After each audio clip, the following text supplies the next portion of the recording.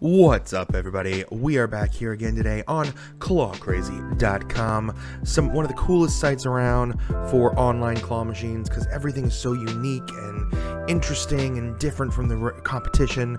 Today, we're going to be trying Milk Jug Toss. You basically use a claw machine to pick up ping pong balls in the pit, and you have to then bounce them off of this slanted board and try to get at least one into the milk jug. So we're gonna try first. Uh, I'm guessing it doesn't really matter, at least it shouldn't, where you go. So I'm going to go first right to the left of the milk jug. Um, always want to make sure you use the overhead camera just to... Ooh, God, that's a lot of balls. Giggity. Oh, it went right out. Um, but yeah, always want to uh, use your angles and especially the overhead camera to make sure you're not about to drop it somewhere where, like, if you're going to hit the board or if you're going to hit the milk jug or if you're going to hit the wall on the side, always take your time and use your angles. Pro tip right there.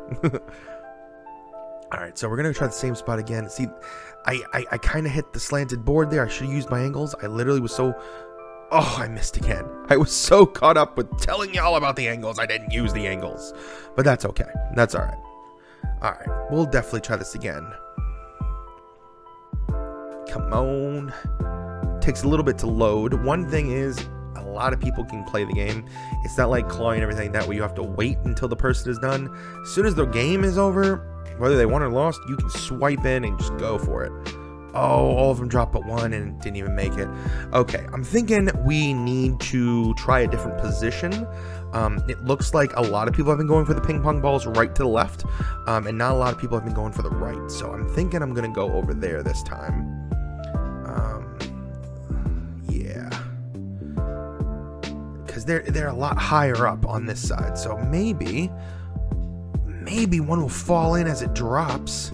That'd be great. Oh, of course, it holds up perfectly. Oh, we got one swish! We just won Milk Jug Toss.